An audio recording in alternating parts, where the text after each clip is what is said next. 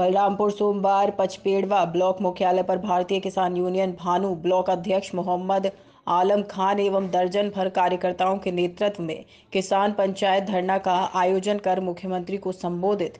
आठ सूत्रीय ज्ञापन खंड विकास अधिकारी पचपेड़वा को सौंप कर समस्याओं के निस्तारण की मांग की। इस अवसर पर जिला प्रभारी सियाराम विश्वकर्मा, ब्लॉक उपाध्यक्ष हनुमान, शकुंतला राम दुलारी, बसंती, करोड़पति आदि कार्यकर्ता मौजूद रहे। मांगे पूरी हो। चाहे जो मजबूरी हो। हमारी मांगे पूरी हो। चाहे जो मजबूरी हो। हमारी मांगे पूरी हो। चाहे जो मजबूरी हो। भारतीय किसान यूनियन भानु जिंदाबाद जिंदाबाद।